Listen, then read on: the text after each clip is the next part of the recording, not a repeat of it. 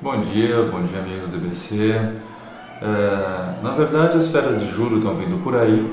Nós temos o hábito, né, a rotina aqui no parque de oferecer uma série de atividades, uma série de atrações aí direcionadas para a criançada que vai estar aqui visitando.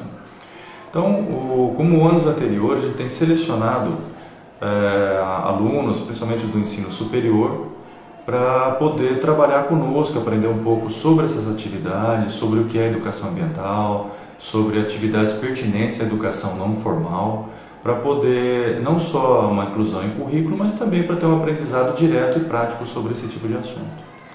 Os interessados, né, as pessoas que estiverem interessadas em participar voluntariamente dessas atividades, ela precisa procurar ah, o Parque Ecológico, né, tanto por telefone quanto por e-mail, pedir a ficha né, para preencher com seus dados, ver a questão de disponibilidade de tempo, que é importante que a pessoa tenha algum tempo para se dedicar a isso, porque são as atividades que normalmente levam um dia todo.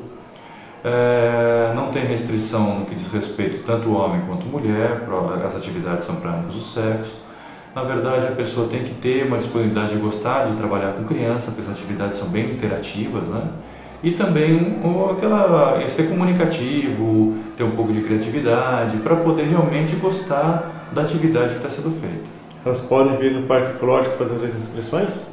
Positivo, né? As inscrições podem ser feitas no parque, podem ser feitas também por e-mail, é, que nós solicitamos uma série de informações, mas é, em especial que a pessoa pense que vai ter que dedicar algumas horas, pelo menos alguns dias, a esse tipo de trabalho uh, que a gente espera que seja bem intensivo, um, um trabalho bem bacana, como foi dos anos anteriores.